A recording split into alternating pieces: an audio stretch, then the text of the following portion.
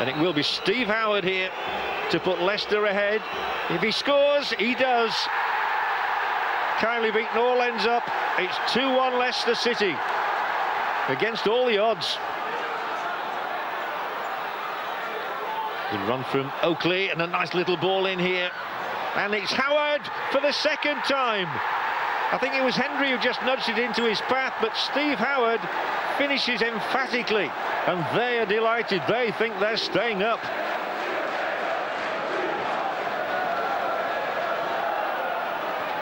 Corrie uses out here to Hayles. Hayles has had quite an impact in this game. And uh, there might just be another goal here for Leicester City. It's a hat-trick. It's a hat-trick for Steve Howard, and it's four for Leicester.